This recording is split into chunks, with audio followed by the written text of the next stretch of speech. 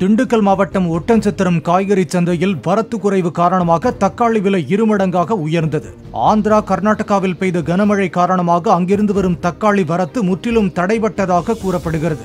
இதனால் இருநூறு முதல் முன்னூறு ரூபாய் வரை விற்பனையான பதினான்கு கிலோ கொண்ட ஒரு தக்காளி பெட்டி எழுநூற்று அறுபது ரூபாய் வரை உயர்ந்தது.